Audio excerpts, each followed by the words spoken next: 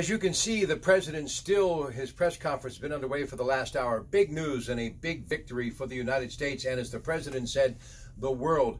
Abu Bakr al-Baghdadi, who has been the leader of ISIS, he said that his family is the direct descendants of Mohammed, has been killed in a special ops raid. He actually detonated a vest full of explosives and took his own life in a suicide the president talking about he wanted to take time to thank Russia, Syria, Turkey, and others for helping, along with all of the technical advisors, but of course the brave men and women of the military who were able to carry this out, these special ops forces. This is breaking news, this is big news, and it's a big win in the fight against terror in that part of the world. The president, of course, the details of the story continue to unfold. Melinda Roeder is checking it, and we'll have it throughout the morning here at KDKA Radio.